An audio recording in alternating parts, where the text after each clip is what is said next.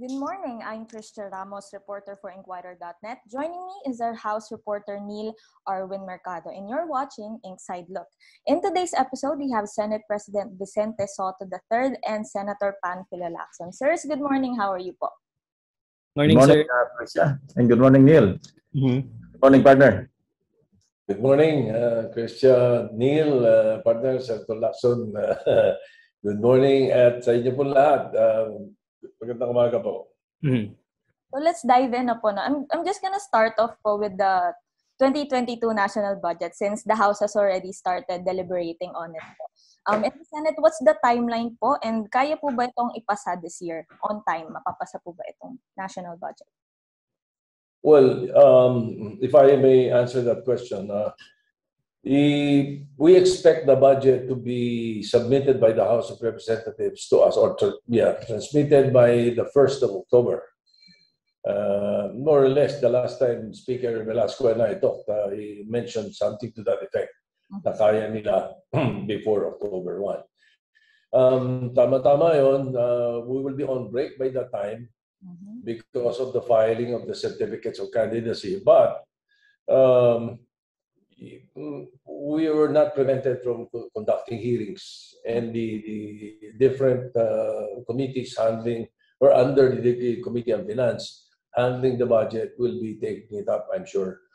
So the timetable would be uh, hopefully by November we will be able to report it out on the floor for plenary. And um, barring unforeseen, unforeseen circumstances, um, by the first or second week of December, we might be able to finish it then, and hopefully before the Christmas break, pati na yung ratification of any BICAM uh, re- uh, reports. Mhm. Sirs, If I um, may add, if I may add, uh, we, we don't have to wait for the House to transmit to the Senate Mhm. yung House version, yung tinatawag na GAB or Yellow Appropriations Bill, ano, yung House version. Uh, that said, September 8, may schedule na kami do sa tinatawag na general principles. So sasabayan na namin sila sa committee hearings, but we cannot uh, tackle the measure on the floor unless the House transmits their version to the Senate. So kasi kung hintayin pa namin yung matransmit sa October or even uh, baka abutin na November, magagahol kami sa oras. So as uh, as a matter of practice, ginagawa namin, sumasabay na kami ng committee hearings and we're not violating anything. um, sirs, recently nga may mga nilabas na audit reports. Itong Commission on Audit uh, where it found some deficiencies in the spending of several agencies. Meron silang recommendations. Ano-ano yung mga agencies that the Senate uh, will really scrutinize, will really focus in and uh, look at pagdating nitong um, GAB sa Senado? Um, Senator Lacson, uh, Yes. think, uh, Actually, lahat, ano? The Vice Chairman. Yes, actually lahat. Ah, hindi naman pinapalampas lahat ng agencies kasi trabaho ng Kongreso ito at trabaho ng Senado na i-scrutinize ang lahat ng budget ng lahat ng agencies, not only the departments. Ah, pero meron siyempre mga ahensya na mas pagtutuunan ng pansin because of controversies.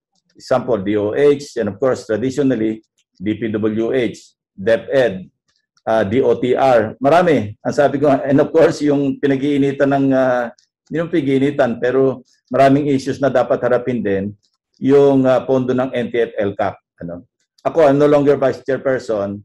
I, uh, I asked the permission of the Senate President and, the, and my colleagues na i-take out na ako as vice chairman uh, uh, defending uh, several agencies. And uh, as you know by now, si Senator Bato yung uh, nagmana noong uh, uh, bilang vice chairperson at mag-defend o mag-sponsor ng mga budget ng mga ahensyang dati kong hinahawakan. Um, gaano, sir, you mentioned NTFL, Kak. I would like to go uh, to that quickly, sir.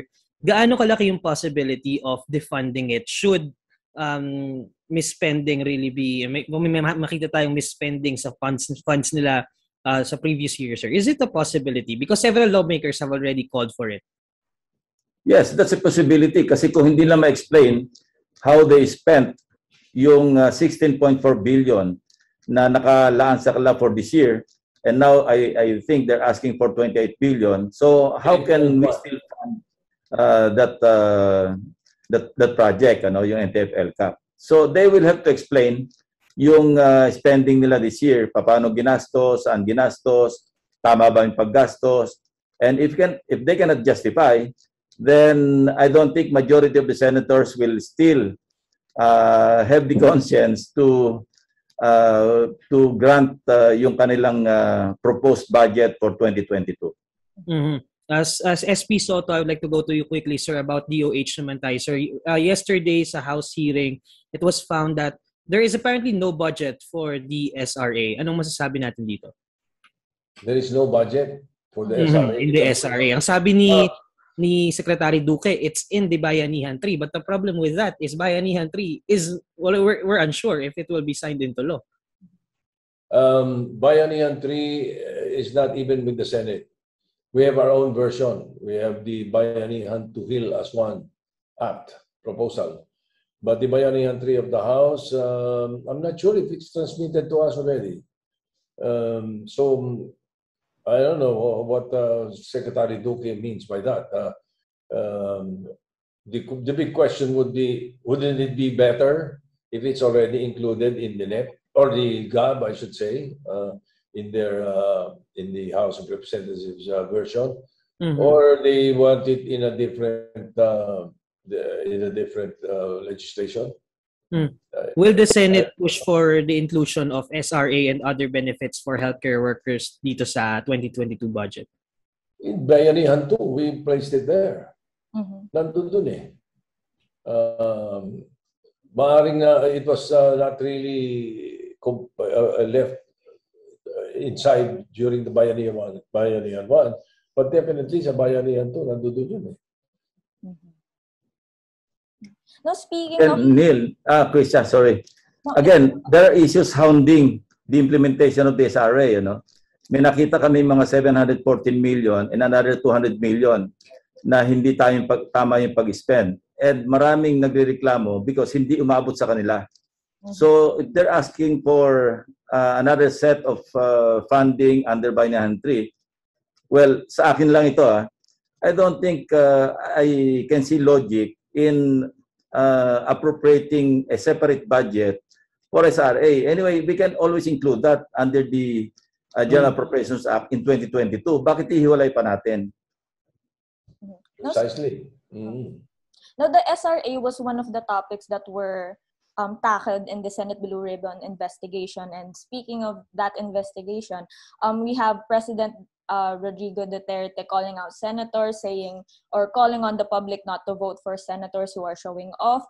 Um, for mm, SP Soto, I just want to ask, as the leader of that institution that seems to be earning the ire of President Duterte, what's your take on on that? Yung mga rants ni President Duterte, especially now that the Senate's in the middle of an investigation, a Mhm. very important investigation.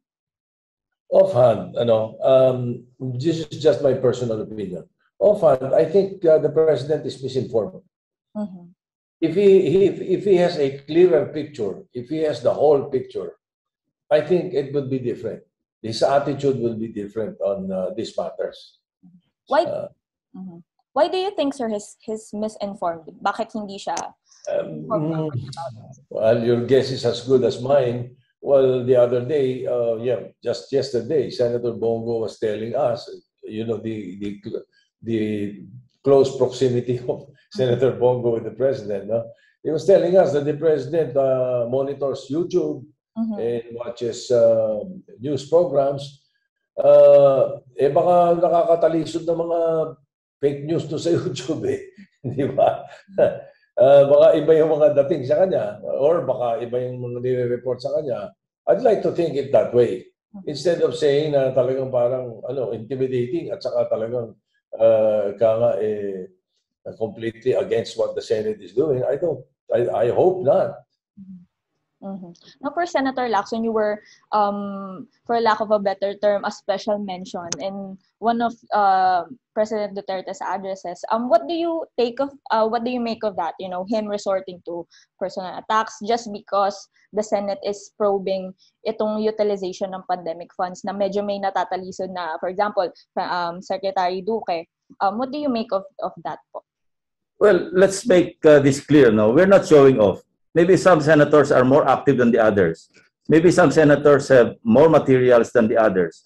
Maybe some senators are or have studied the issues better than the other. So walang show off dito. Ay, ako, I've always been consistent in scrutinizing uh, year in, year out yung ating national budget. And this is no exception because this is government spending. Kami yung nag-appropriate, Congress lagi yung nagpapasa ng uh, budget measure And it is incumbent upon us to exercise oversight. Kasi kung walang titingin, edi pasa-pasa na lang. Now, we heard Secretary Roque, sinabi niya, uh, basta naka-deliver, okay na. Well, price matters, ano? especially at the time na ang binibili natin ay mga medical uh, supplies uh, in the middle of a pandemic. So, wag mo sabihin sa akin na hindi nagmamatter yung presyo. Kung grossly overpriced, then, well, there's something wrong with uh, that opinion, uh, to say the least. May, may I add no, the, uh, my take on the matter? Um, for example, yung, when the executive department uh, complains ano, or reacts that way, the way uh, the Secretary Duque started with his uh, with answering the, the way, the, especially in the media, you know, I have a simple uh, paraphrase or quote. Explain before you complain. Mm-hmm. Eh, nauna yung complain eh. They're already complaining why we're in the, why the Blue Ribbon is uh, saying this or why these members of the Senate are asking this or, uh, or what. Instead of complaining on about na sila winawasak or anything to that effect, explain. Explain mo muna. Tsaka mo sabihin, oh, de, pag na-explica mo mabuti, nasabi mo yung na, uh, kung bakit nagkakaganon, tsaka kapag complain, eh, pinag-iinitan nyo kami, tama naman ang ginagawa namin. Hindi eh. Di ba? Baliktad eh. Nagko-complain muna eh. Tapos yung explanation, ang, ang word na naririnig ko sa mga kasama ko sa hearing, evasive. Mm-hmm. Mm-hmm. Now, the Blue Ribbon Committee has conducted uh, three hearings na po and it will resume um, on September 7. So far, ano yung prominent findings niya nakita nyo dun sa tatlong hearings po na yun? Uh, maybe Senator Lacson would like to start. Yes, maliwanag. Napakalaki ng uh, uh, iskandalo or anomaly doon sa pag-transfer ng 42 billion pesos from DOH to DB, PSDBM. That's first. Ano? Now, second, uh, yung demand of procurement na ginawa ng PSDBM, inamin naman ni uh, Attorney Lau na hindi siya nag-exercise ng due diligence. Kasi as early as March 2017, bisita na nga sa Malacanang, ineskorta na nga ni Michael Yang, who is another controversial personality, yung officials ng uh, Parmali, no? And then kung may due diligence, nalaman sana nila na maraming kaso sa Taiwan dahil sa stock manipulation yung officials ng Parmali, no? Yung counterpart sa Taiwan. And then another uh, ano anomaly, yung address, you know, yung asaan namin, yung security unit namin sa Senate, nung nag-serve sila ng subpoena, they were informed by the guard do sa building na 2018 pa, wala na doon yung mga na, na dapat nakatira doon. And yung family was incorporated in uh, September of uh, 2019, hindi, hindi ba? And then six months later, napagdagad nila yung uh, billion, 8.68 billion to be exact, ano, na kontrata sa PSDBM. Hindi ba katakot-takot na red flag yon? So sa susunod na hearing, hindi lang tayo mapupunta, although we'll focus on the uh, PSDBM uh, procurement uh, uh, method na ginawa nila. So, yon. Uh, at marami pang issue kasi marami pa rin pumapasok na information. Alam mo, yung mga kababayan natin, sawa na rin eh. Pagod na pagod na rin sila na yung perang ginagasta galing sa buwis nila at galing sa utang, uh, wars, ano, galing pa sa utang, eh, winawaldas. So maraming nagre-report talaga sa amin. For example, ito, uh, I'm sorry for, uh, with your indulgence, ano, we've talked to several uh, LGU officials. Ano. I won't mention where. Yung, alam nyo yung Health Facilities Enhancement Program, HFEP, pinondohan namin ito ng malaki para makakomply kami sa Universal Healthcare Law. So what we found out, ito lang, isang item, ambulansya with equipment. Alam nyo doon na yung bili ng uh, DOH, yung kanilang procurement, ang isang ambulansya na merong uh, equipment sa loob, 2.5 million pesos each. Yung LGU, para talagang for comparison, maging apples to apples, bumili rin sila ng eksaktong van para gawing ambulansya. Bumili rin sila ng eksaktong equipment. Alam niyo ang pagkabili nila? 1.5 million. Hindi ba nakakagalit yung isang ambulansya may overprice agad na 1 million pesos? So in other words, lima na dapat ang nabili doon sa tatlo.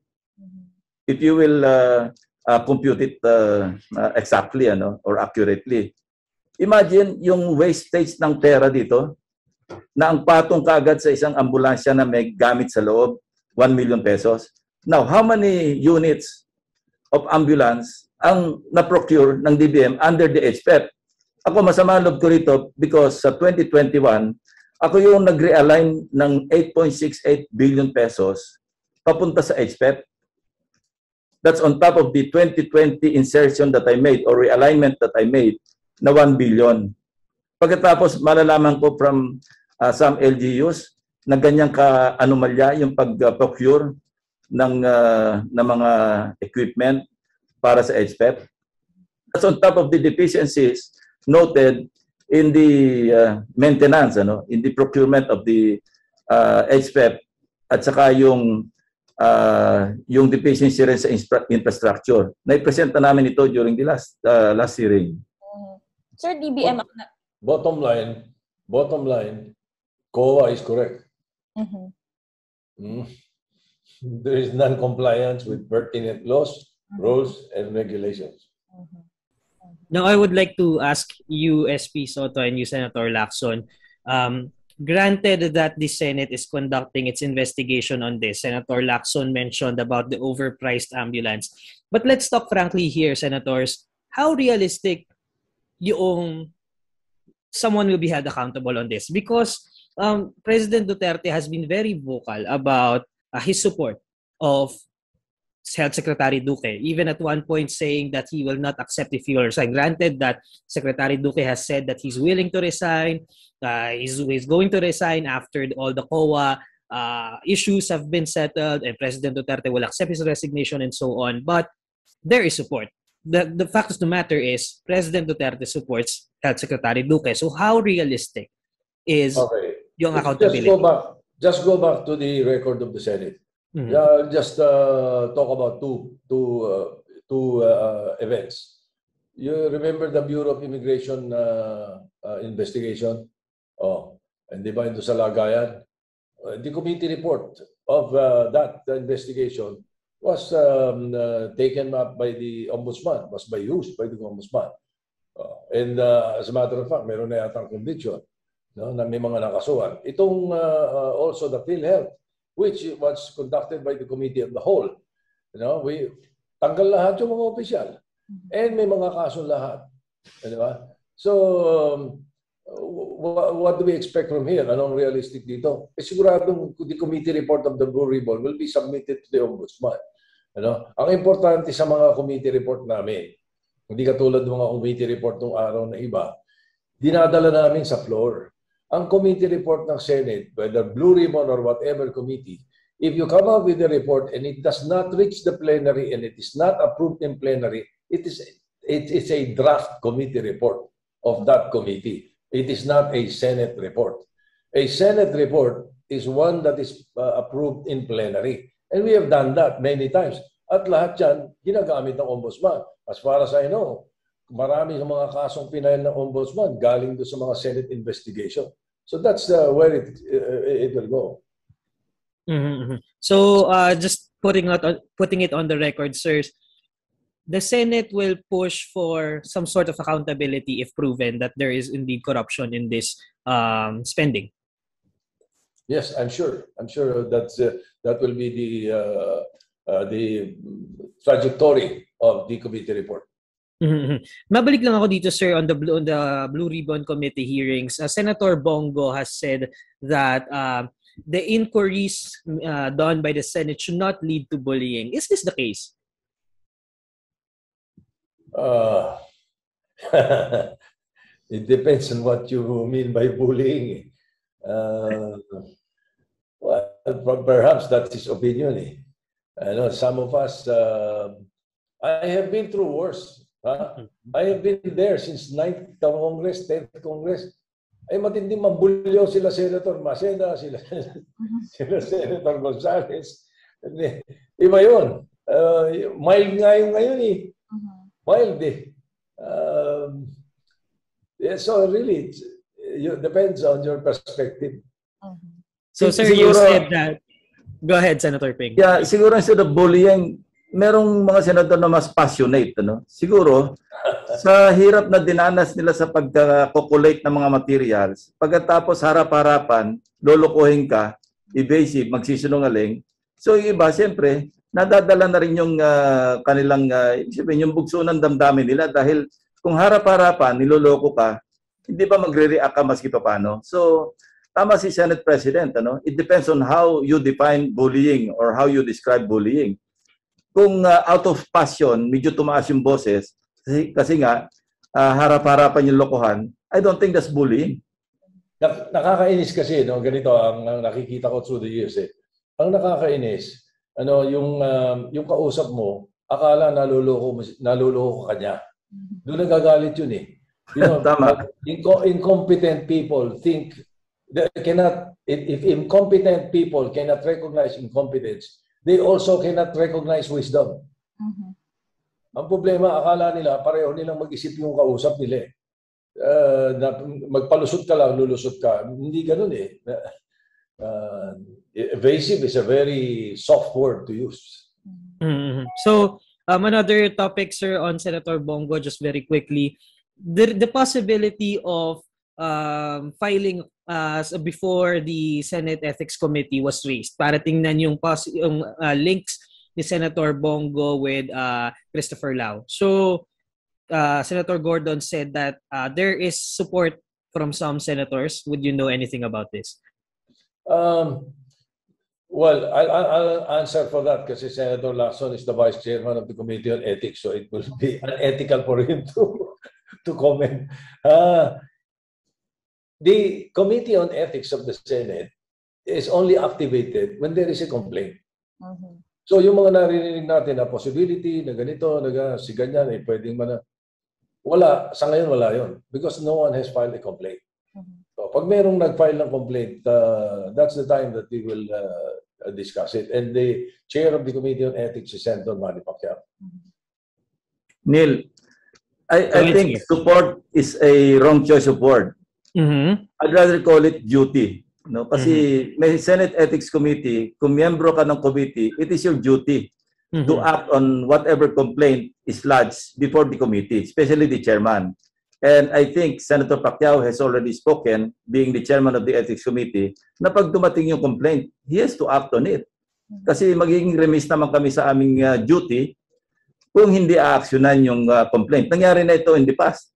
Mm-hmm. So, hindi siguro support. Maybe mm-hmm. uh, yun lang ang nagamit na salita. Pero hindi support ang tawag yon. That's a call of duty. Mm-hmm. Just a quick follow-up for SP since bawal tong sagutin probably ni Senator Lacson. Do you think it's essential for a complaint to be filed uh, for a complaint to be filed uh, SP Soto para to, will it give some uh, clarity, kumbaga, doon sa pinag-uusapan natin ngayon if an uh, complaint will be filed before the Ethics Committee?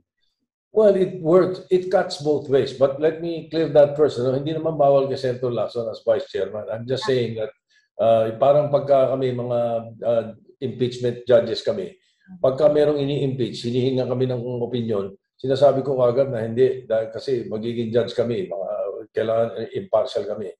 Pero dito sa sinasabi mo, um, pagka, pagka may nag-file ng complaint, ano, automatically, iti-take up na, uh, uh, just like uh, Senator Lacson said. Mm-hmm.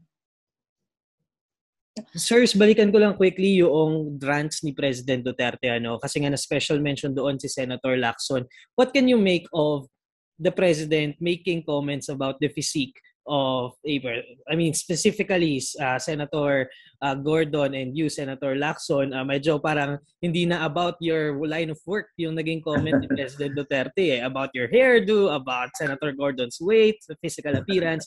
What can you make of a president making those kinds of remarks? Neil, insult is the weakest form of defense. Ano? If it is uh, a defense at, at all, ano? if you may call that a, a defense. Yun lang masasabi ko. Kung wala ka na may depensa, mag-insulto ka na lang.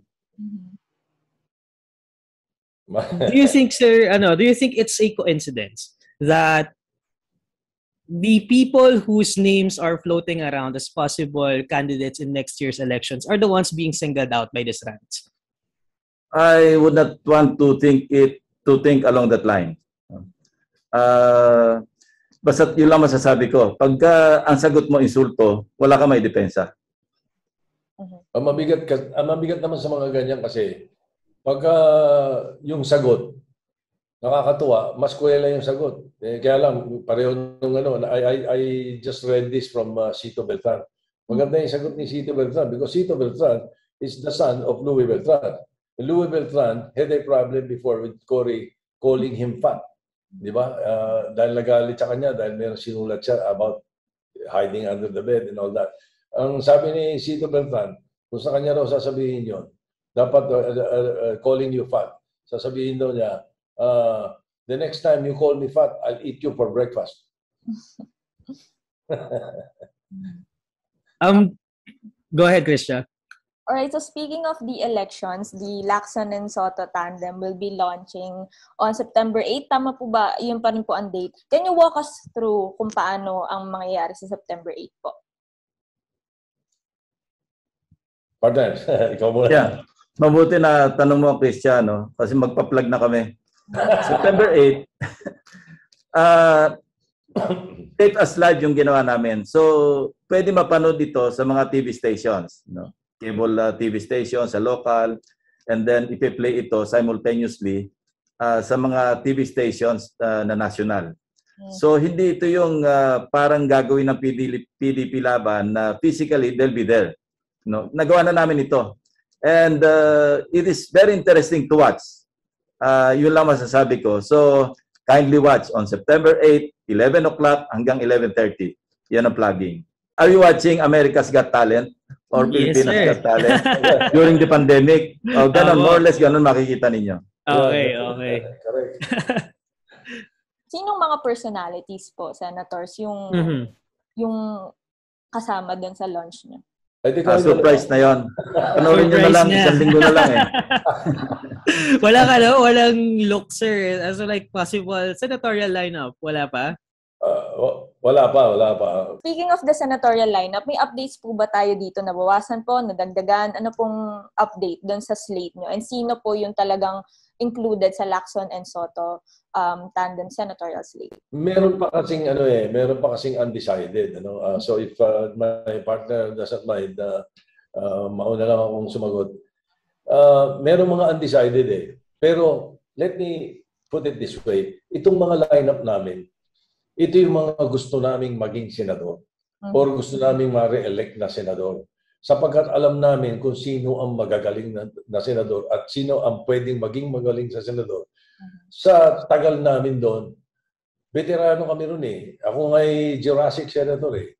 Kaya alam ko kung sino yung dapat na mahalal at hindi. Ano? So itong mga pangalan na binibigay namin, sila yung mga ini-endorse namin na gusto namin maging senador.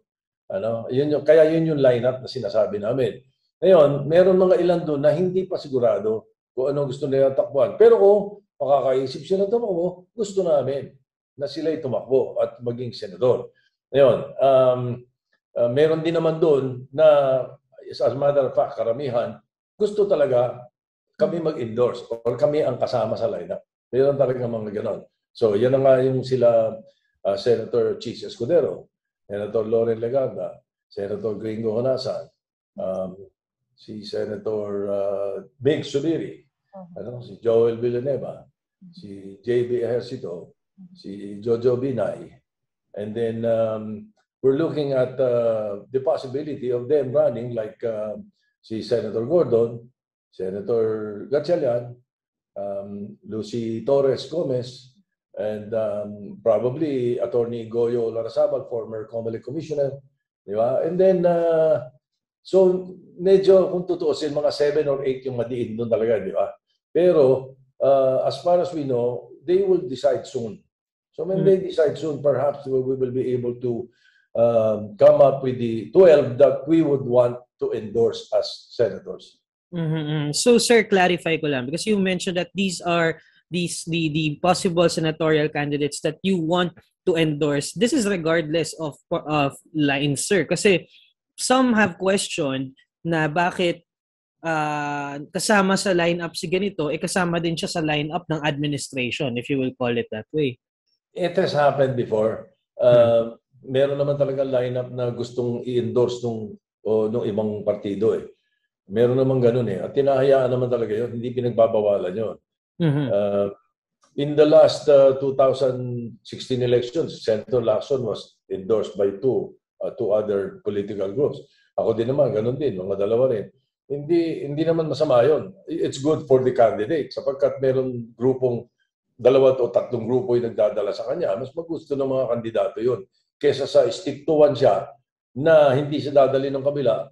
Di ba? Medyo, ano yun, uh, hindi masyado, ano mo naman, politics is addition, especially mm-hmm. when it comes to election. Mm-hmm. Senator Ping, now I would like to ask you, let's talk about uh, VP Robredo because recently nga ito, naga, we found out that you had a talk with her. She also confirmed that the meeting. Is this still open? Uh, are you still open for discussion despite na granted that you said na na may nag-decline na ng talks about it but are you still open to discuss it? Yeah, before we go to the topic ano, uh, gusto ko lang dagdagan na we might have one or two surprise senatorial uh, candidates under our lineup. Ano.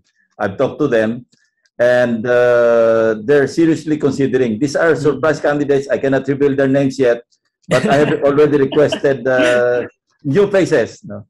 I have already requested Senator or Senate President Soto to reserve uh, one or two slots uh, for reforma.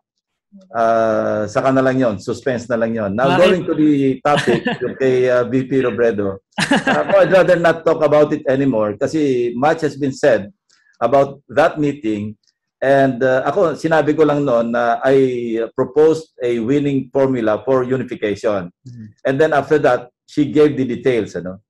And I don't want to delve on uh, possible uh, motives kung bakit uh, yung buong detalye na na i uh, na i uh, uh, sabi sa publiko. Uh, so let's leave it at that. Now, uh, yung possibility na open pa yon at this point in time, sabi ko nga nung una nabasa na yung sakong namin. Ngayon hanggang leeg na eh. Alam mo yung kumunoy, habang nagbibigil ka, lumulubog ka eh. Ganun na situation namin ni Senate President Soto. No, wala na kaming iwanan, wala na kaming atrasan, especially na maglo-launch na kami on September 8.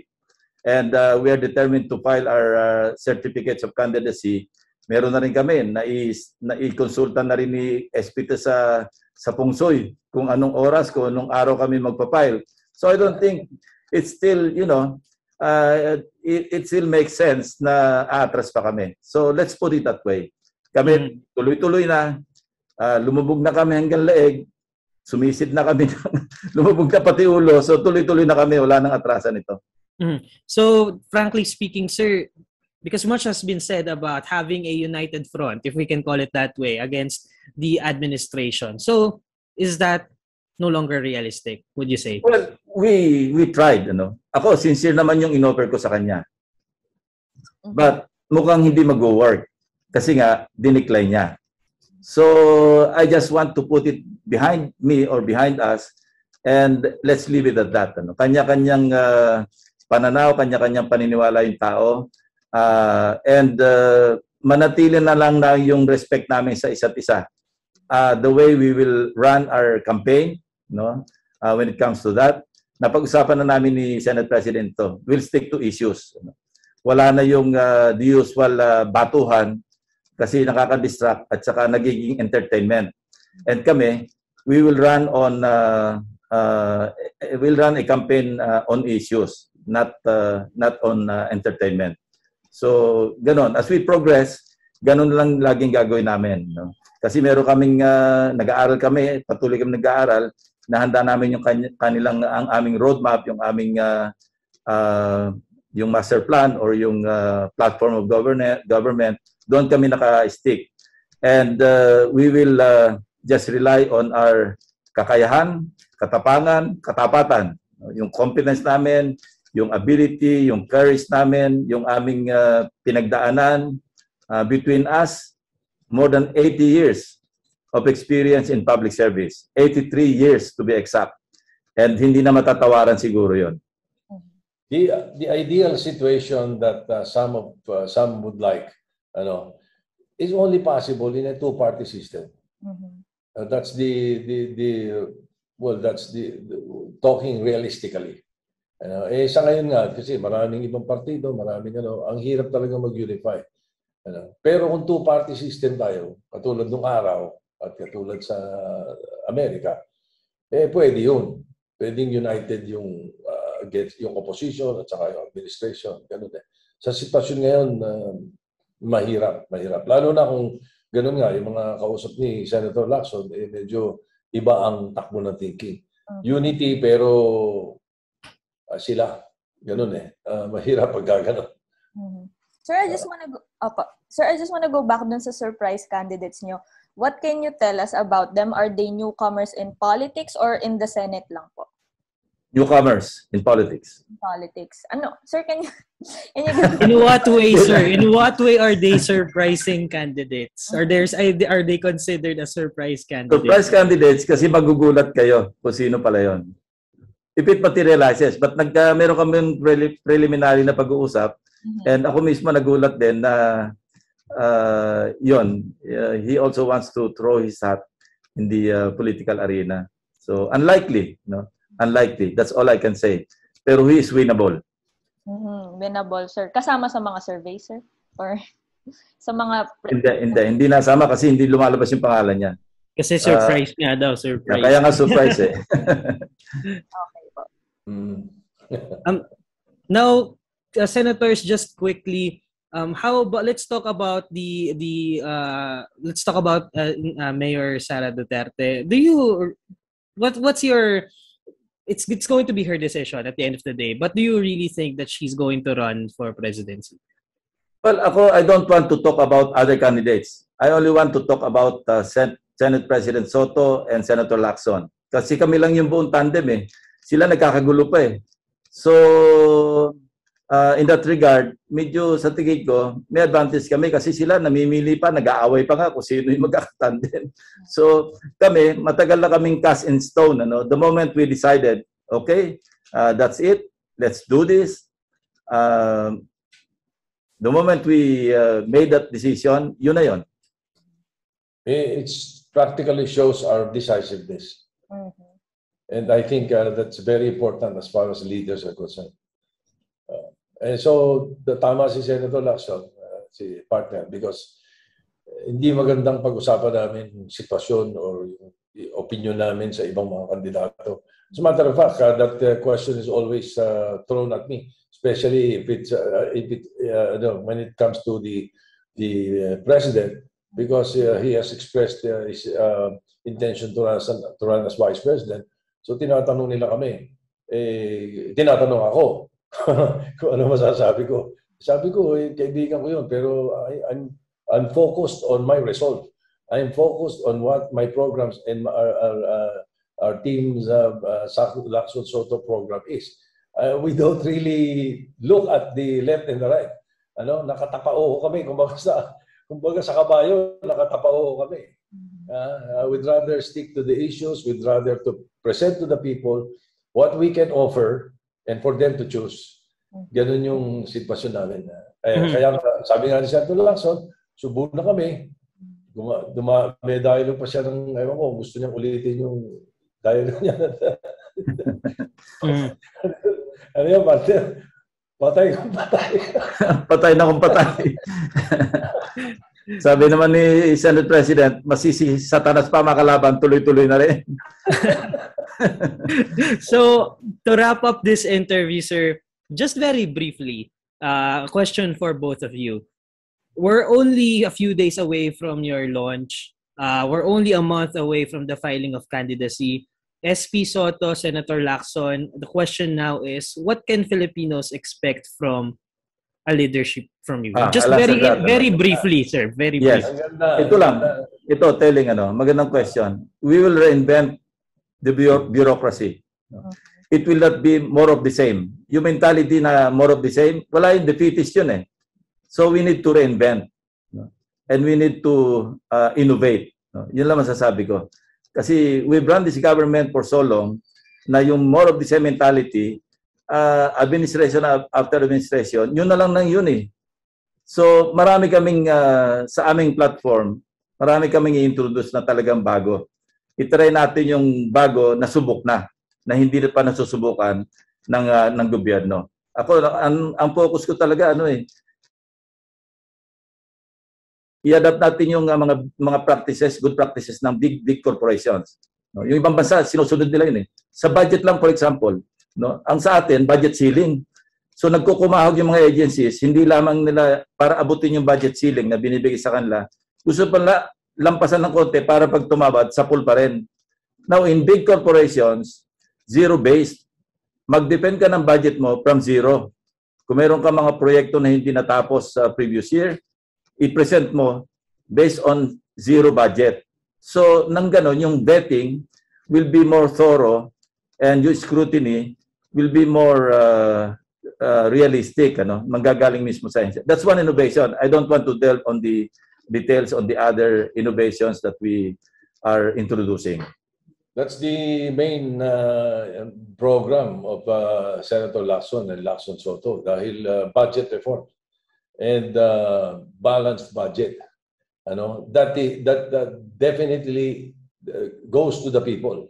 Yun ang ano eh, yun ang importante. And then uh, to answer completely your your question, panoodin mo sa September 8 kasi we capsulized uh, what we wanted to do. Ano doon eh, we're building it on we're building it on um, a good government that can be trusted by the people. Okay, thank you so much again. That is Senate President Tito Soto and Senator Ping Lacson joining us in this episode. My name is Neil Arun Mercado. Joining me is Christia Ramos, and that has been your Inside Look. Everyone, keep safe. Thank you. Keep safe. Thank you. God bless.